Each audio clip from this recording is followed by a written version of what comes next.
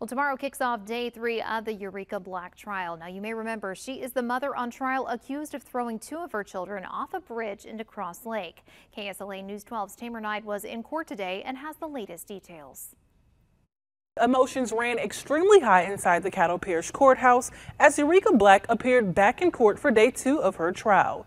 I spent the day inside the courtroom and here's what happened.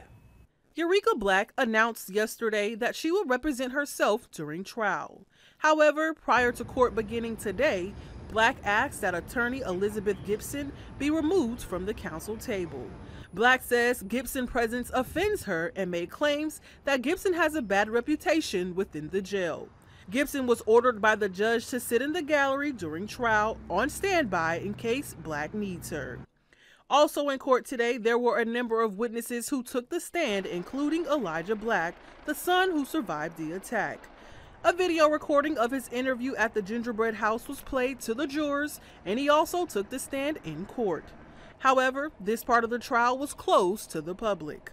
Responding police officers, first responders, the forensic pathologist, the homeowner of the address officials were dispatched to, and one of Ureka's sisters all took the stand. One responder saying that Elijah Black told him his mother rolled him from the bridge. Black argues officials are out to get her and her family. She says evidence jurors seen today is false and tampered. Now court will resume at 9:30 a.m. tomorrow. We will have updates both on air and on our News 12 app.